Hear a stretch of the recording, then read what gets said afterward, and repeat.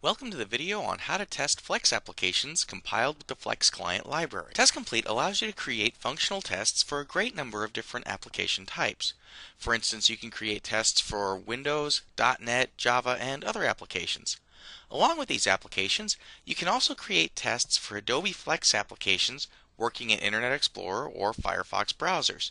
With Test Complete, you can easily simulate user actions on Flex and Flash movies and even access their internal objects, methods, and properties. There are several approaches to make these objects accessible to Test Complete. Each of them has their own unique advantages and disadvantages. For example, if you decide to use the runtime loader, you'll need to copy some special files to the web server that's hosting the Flex application. If you choose to use the Flash injector, you'll have to use a special version of the Adobe Flash Player. In this video, I'm going to show you the specifics of using the Flex Client library to make your Flex and Flash applications testable. The Flex Client library is shipped along with Test Complete. It's used to expose the internal objects, methods, and properties of Flex applications to the Test Complete engine. You compile your Flex modules with this library included, and then the test engine gains access to the application's internals. This approach provides the best possible identification of the application's internal objects and guarantees access to all the internal methods and properties. However, the library code does increase the size of the resulting SWF module. One more limitation is that this approach only supports applications created with ActionScript 3.0 or later. Now I'm going to demonstrate how to include the Flex client library in a Flex application to make it testable, and then we'll record and replay a test against that application. And in my explanation, I'm going to use a sample Flex application that's located on my computer. There are several ways to include the Flex Builder library in a Flex application. Using Flash Builder or Flex Builder IDE, uh, using the Flex Compiler's command line interface, or using the Flex Compiler's configuration file. I'm going to show you how to include the library using the Flash Builder IDE. To compile your Flex application with the Flex Client library, you don't have to change the application's source code, you just need to specify certain compiler options. Okay, I've already opened my applications project in Flash Builder, and now I'm going to show you the properties that you need to set. So we're going to go up here to Project, Properties, and we're going to click on the Flex Compiler section here, and what you want to do is add this line right here to the additional compiler arguments. You want to put in this include library statement and then the path to the Flex Client SWC file. And that's going to be located in the Open Apps slash Flex directory of your Test Complete install folder. Testing Flex applications with Test Complete also requires a wrapper page. So you can create wrapper pages manually, or if you're using Flash Builder, you can have it automatically generate this HTML wrapper for you. To do this, just check that box right there. Once that's done, come on up here to Project, Build Project, and that will compile the application. Okay, so we've compiled our application with the Flex Client library, and now let's ensure that Test Complete has access to the Flex application's internals. So I've already loaded up the web page that contains the Flex application here in IE, and I'm going to jump into Test Complete, and I'm going to flip over to the Object Browser tab. Okay, so here's my instance of Internet Explorer. Here's the web page that has my Flex application running in it. And here I've expanded these nodes. You can see these are the internal objects of the Flex application. Anything that has this glyph next to it is one that is a recognized Flex object. Now when you select an individual Flex object, over here on the right you can see all the properties associated with that Flex object. And this property right here, this Flex object property, if you click that, that gives you access to all the internal properties and methods of the selected Flex object. So we have successfully compiled our application for use with Test Complete. So we've demonstrated how you can explore a Flex application in the object browser, and now let's learn how to create a Test Complete project, define a tested Flex application, and record a test against that app.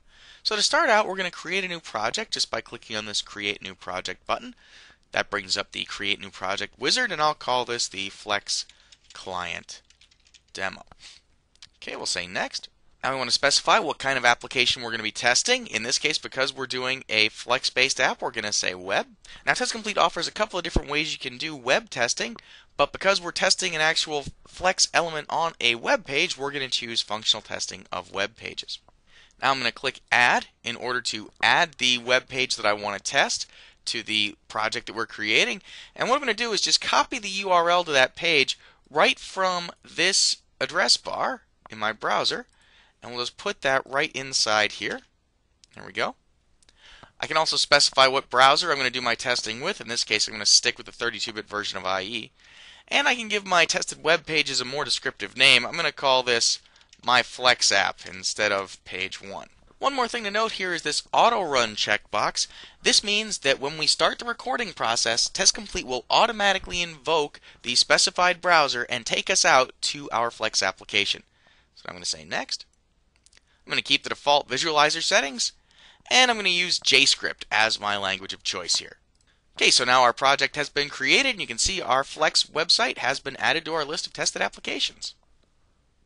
Okay, so now we're ready to record a test against our application. So I'm going to click the record new test button here on the toolbar. Test Complete is going to minimize down to just this recording toolbar. You can see it's automatically invoked my browser and taken me out to my target URL.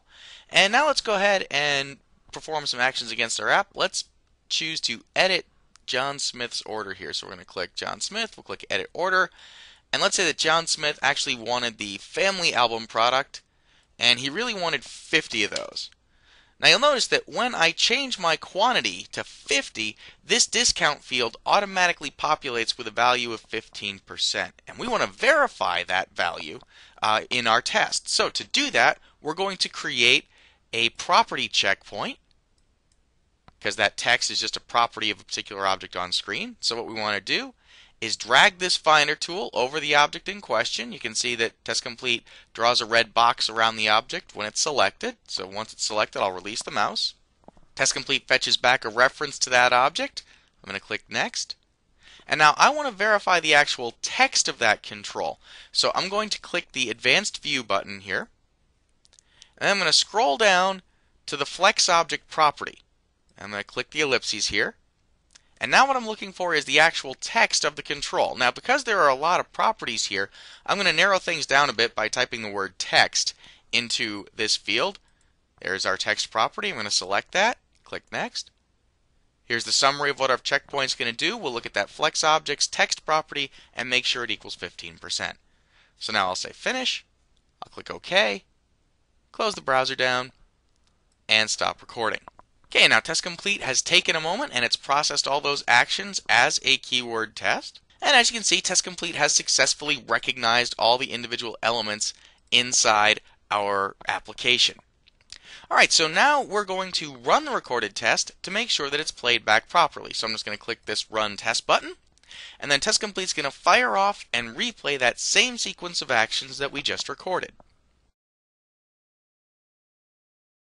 Okay, I've fast forwarded a bit. You can see the test has finished and test complete is now displaying its results here in this log panel.